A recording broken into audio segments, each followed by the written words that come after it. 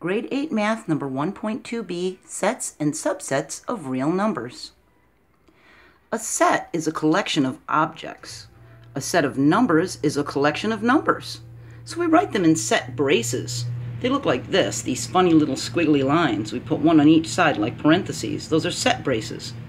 The numbers are elements that are inside the set. We call them elements. A subset is a set inside the larger set. So let's see, we have set A. We have 1, 2, 3, 4, 5, and it's a set of whole numbers. Set B is 1, 3, and 5. This is a subset of this set because these numbers are in the larger set, see? This is a littler set that came out of that set. It's a subset of odd numbers from the set of whole numbers.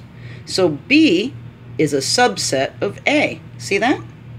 By understanding which sets are subsets of types of numbers, we can verify if statements about the relationships between the sets are true or not.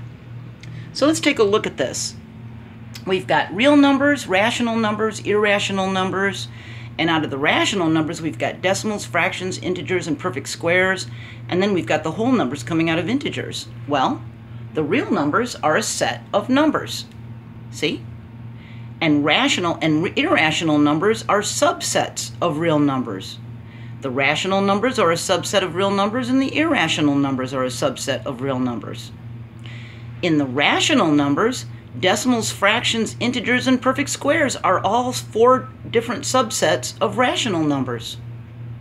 And whole numbers, well, that's a subset of the integers. See that? So they're slowly breaking off more and more and more. All right, let's see if we can answer these. True or false? All rational numbers are real numbers. Well, that's true. Real numbers consist of rational and irrational numbers. So all irrational numbers are real numbers. They're a subset, see? So that's true.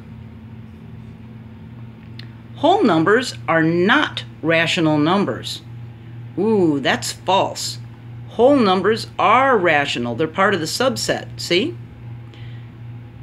They're integers, and integers are rational numbers. So that one is false. Pi is a real number. Is pi a real number? That's true. Real numbers are all rational and irrational numbers, and pi is a rational, so it's a real number. So that one's true. Fractions and decimals are rational numbers. Well, that's true because positive and negative fractions and decimals are rational numbers. See? So that one's true. They are rational numbers. They come off the branch of the rational numbers from the tree. How about some irrational numbers are integers? Well, that's false. Integers are not even in the same branch as irrational numbers. Look at that. Irrational numbers are a subset of real numbers, but integers are not. They're rational numbers. An integer is a positive or negative whole counting number, and irrational numbers are not whole numbers. Irrational numbers are like the square root of 2 or the square root of 3, square root of 17. So this one's false. How about all integers are rational numbers? Well, that's true. Like we said before, integers are positive and negative whole counting numbers. Those are rational. Integers are rational. See? So by understanding the subsets of this tree, you'll be able to classify and group these different types of numbers into the set they belong in. See that? So we know that real numbers are broken into these two subsets, rational and irrational numbers. And rational numbers are broken up into four subsets of decimals, fractions, integers, and perfect squares. And then the integers has a subset of whole numbers. See that?